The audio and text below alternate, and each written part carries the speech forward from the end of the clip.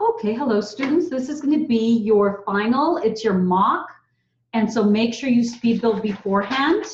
Um, this is only your mocks, okay? You're going to get two. So on the first one, this is going to be one minute at 180 for practice, okay? Make sure you access speed building that you got into EV360, um, something other than what's here because it's just your finals. And remember, everything is due um, Wednesday before midnight. So type up your dailies, everything, get it in Wednesday before midnight, okay? Here we go, 180 for one minute practice. Mr. Speaker, I am introducing today a resolution to protect the life of the unborn.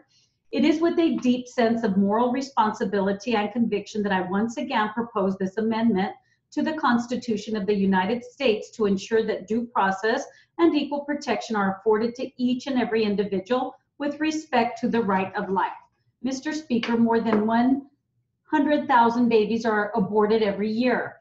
Those abortions are in direct contradiction to the principle that each and every individual has the most basic of all rights, the right to life. It is the responsibility of the United States to protect that right. This responsibility has been recognized by many of my distinguished colleagues. I am pleased to say that liberals and conservatives alike as well as individuals on both sides of the road have repeatedly shown support for the God-given right, the right to life. It is deplorable that we find ourselves in a society where abortion is commonplace and where physicians and intellectuals condone the taking of lives. And so we have on your 180 lit, proper names, none. Okay, so no proper names. This is gonna be then 180 lit for your mock for five minutes.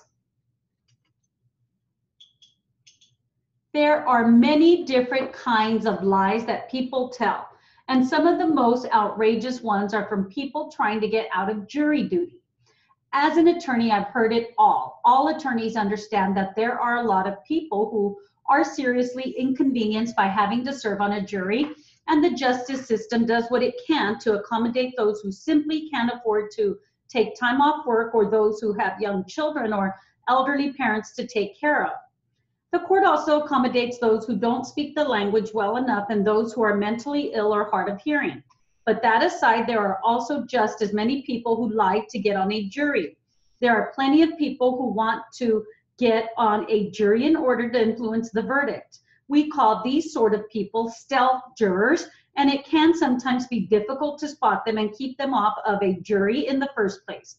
How do we find these potential stealth jurors ahead of time? And how can we minimize the harm they do? In all honesty, we can't always weed them out, and there are plenty of times where they worm their way into the jury box. If you spend a little time reading the tons of research that has been done on the topic, you will slowly but surely come to understand that liars do look you in the eye when they talk to you, and they do not always shift in their seats when they are in the midst of telling a lie. They are expert at what they do, and they can fool even the most experienced lawyers, even those whose sole aim is to seek them out and uncover their lies. One of the techniques we attorneys use during jury selection is to ask the potential jurors a lot of questions. When talking to prospective jurors, as I have done so many times before, that is one of the smartest ways to get past any bias or prejudice that a juror might harbor. Questions can be a tool to get at a bias that is being concealed. A stealth juror will most likely already be aware of what the lawyer is attempting to do, no matter how the question is shaped or how many different ways it is asked. They often pride themselves on heading it off. What the very same juror might not realize, however, is that the stories that they tell from his or her past or what they tell you about the websites they like looking at are ways for an attorney to call out a bias or prejudice. Another way to get inside the head of a potential juror is to listen carefully to the way they speak. A juror with an agenda will often speak in a code that they have forgotten is a code of any kind. I have said before that it is easy to learn some of the language that extremists use when talking about things they like to do or things they don't like doing. And they may re reveal a bias without realizing they have done so. I also want to mention a juror who is very quiet. Attorneys rarely forget to ask a person why they are being quiet and will try to find out if they know something they aren't telling us. I once had a juror tell me that she was the fiance of the defendant. In the same way that we will try to prepare a jury to hold to their views and to deal with them in the jury room, we can also prepare them to respond to what might be someone who does not have the best interests of justice in mind. In the cases where we know for a fact that a juror has lied about a bias, it is usually because another juror reported it to us. Why are we so troubled then by jurors who lied to us? It isn't like any of us have never heard a lie or told a lie before. In fact, we all have heard lies so often that it rarely gets us angry anymore. We live in a culture of lies, a culture where lying has become acceptable. So, why is it that jurors who lie keep attorneys awake at night? Maybe because it puts a lawyer at risk, and that is something that we all take personally. It's like have a bug in the case or a hidden bomb sitting there ticking, waiting to explode. No matter what happens at a trial, how good or how bad the evidence turns out to be, this one stealth juror could sink the whole ship because that is their objective in the jury room. We feel compelled to prevent that from happening, obviously, and we'll do our best to weed them out with questions and by getting them to talk about themselves. What I want you to consider is that there is something else at work here too, and that is a deep belief that we all share with those other jurors who don't like to get on the jury.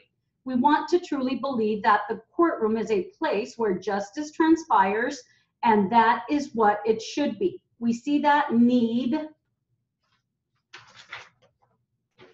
And then we have one minute, 200 jury charge practice.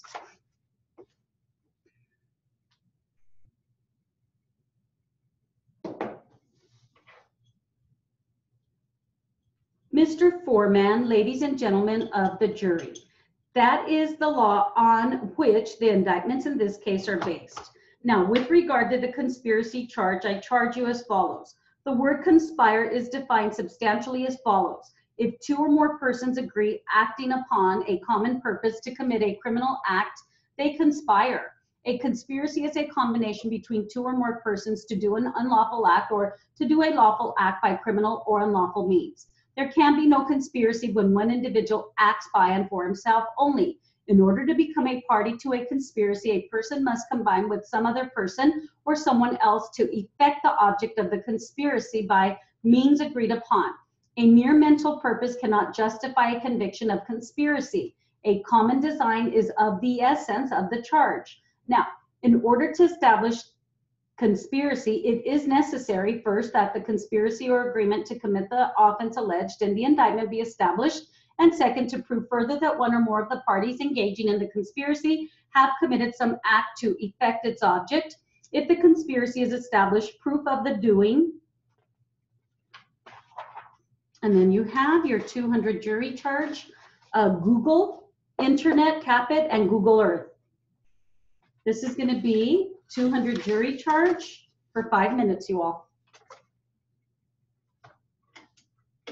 I would like to welcome all of you back from lunch. And we will resume where we left off once you are seated in your assigned seats again in the jury box. Before lunch, I had begun reading the jury instructions to you and I will now continue where I left off. The instructions that you will receive a copy of will be typed up in font that is easy to read. If you are anything like me, the older I get, the larger the print I require. You are to decide what the facts are. It is up to all of you and only you to decide what happened based on the evidence that has been presented to you in this trial. Do not allow prejudice, bias, or sympathy for one side or the other to influence your decision in any way. Bias includes but is not limited to a bias for or against a particular witness, bias for or against an attorney, bias for or against a defendant, or an alleged victim. Do not decide this case based on any implicit biases. As we discussed during jury selection, every one of us, whether we want to admit it or not, and whether we are aware of it or not, has feelings and fears and sometimes makes assumptions based on those things. That is what an implicit bias is, and we may not even be aware that we have them. These hidden thoughts can impact what we see and hear and how we recall what we see and hear. These hidden thoughts or implicit biases can also impact how we make decisions, both big ones and small ones, because you will be making very important decisions in this case. I urge you to evaluate the evidence as carefully as you can, and I urge you to resist jumping to conclusions that are based on your personal likes or dislikes, your gut feelings, or your biases. The law demands that you return a verdict that is based only on the evidence and your evaluation of the evidence, a verdict that is based on your reason and common sense, and a verdict that is based on these instructions that the court gives you. Our system of justice counts on a jury to reach a verdict that is a fair decision based on the evidence in the case and not on biases. There is no room for bias in terms of a person's race, skin color, gender, religion, country of origin, age, or a person's economic status. None of those things should factor into why you reach the verdict you do. You must follow the law as I explain it to you, even if you disagree with it. If you feel that an attorney's comments on the law conflicts with my instructions to you, you are to follow my instructions. Pay careful attention to all of these instructions and consider them together.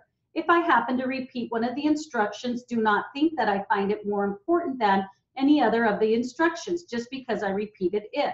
Some words or phrases used during this trial have legal meanings that are different from their meanings in everyday use.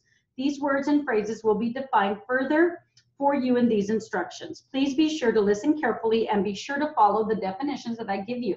Words and phrases not defined in these instructions are to be applied to their ordinary meaning. Some of these instructions may not apply depending on your findings about the facts of the case.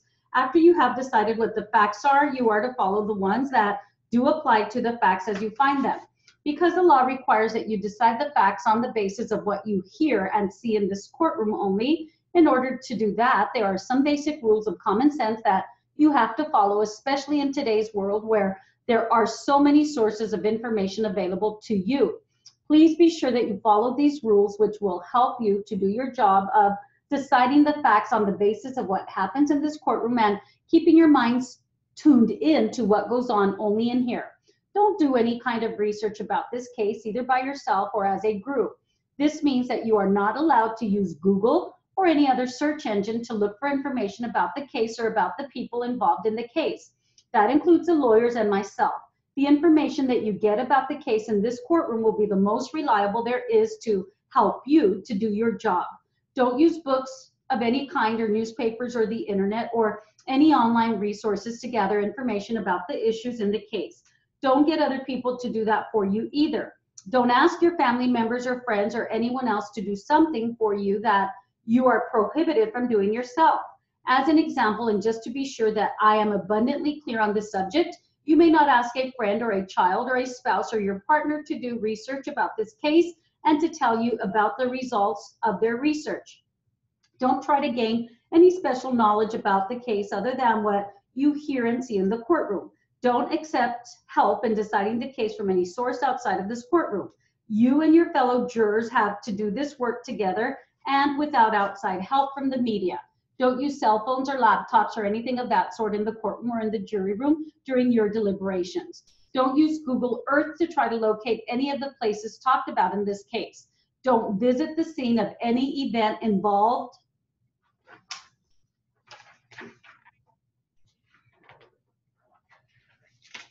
and we'll get ready for your Q&A.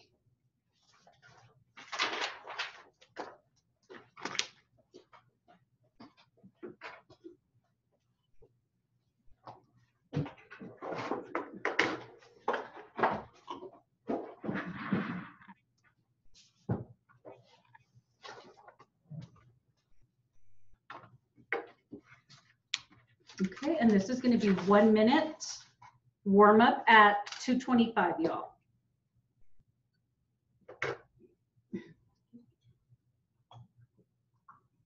Okay, one minute.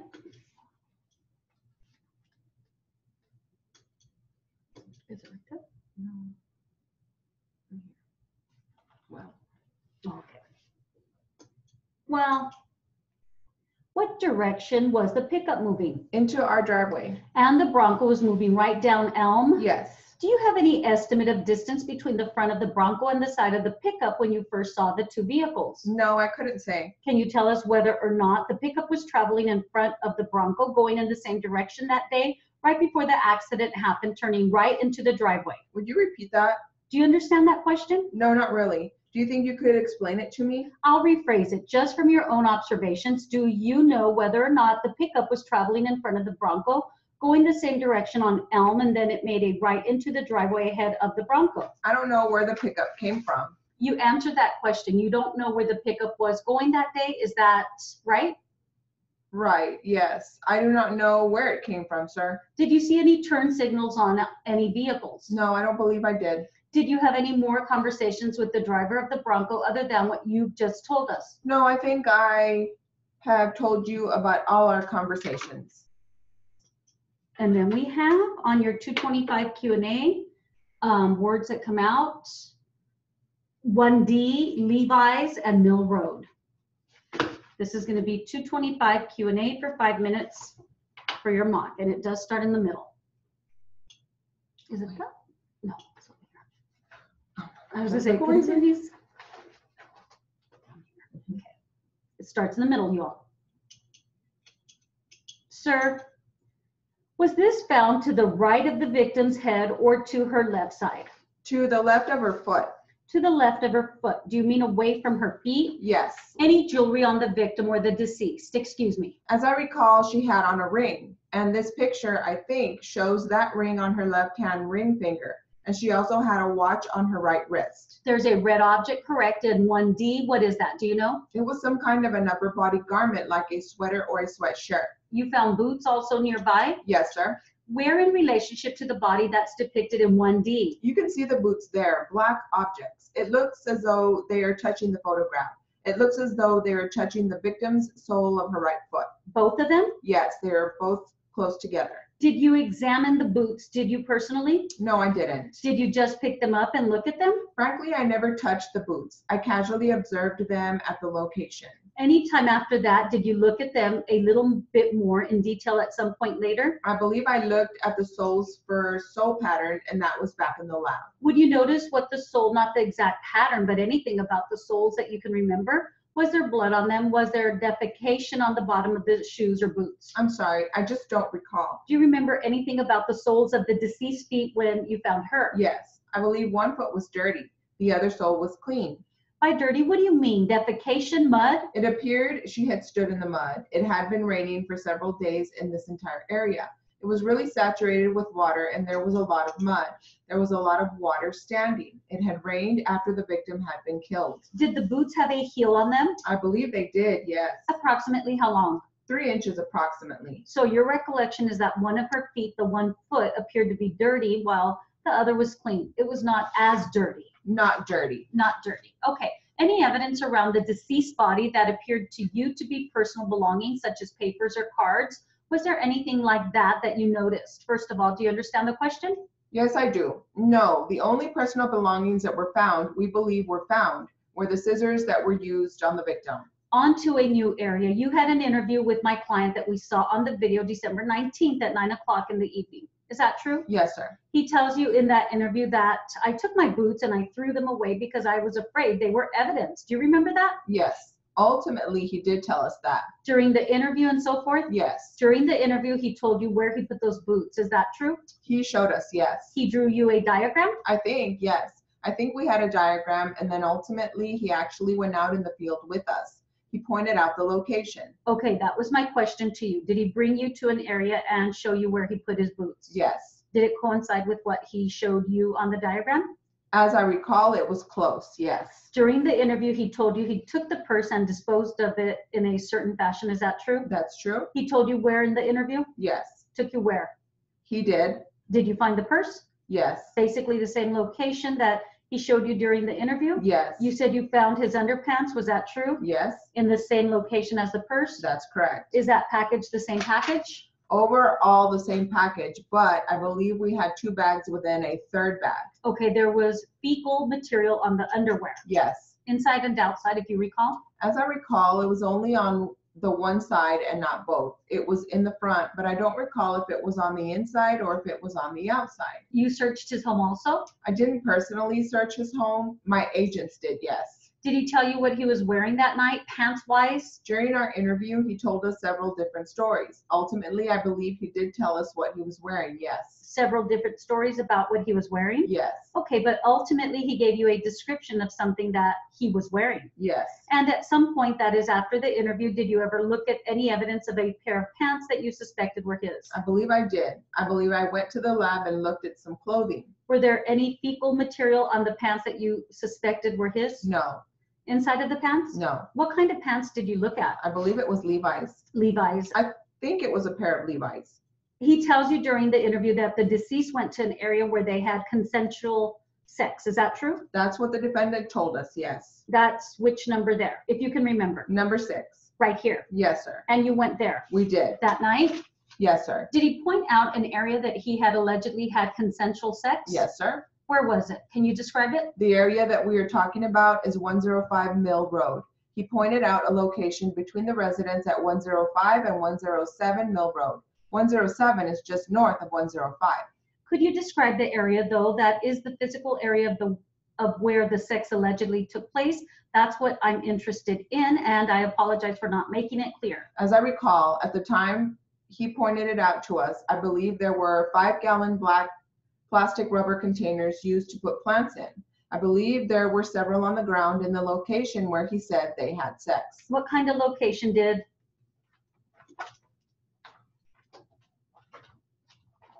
And we'll get ready for your second mock, okay?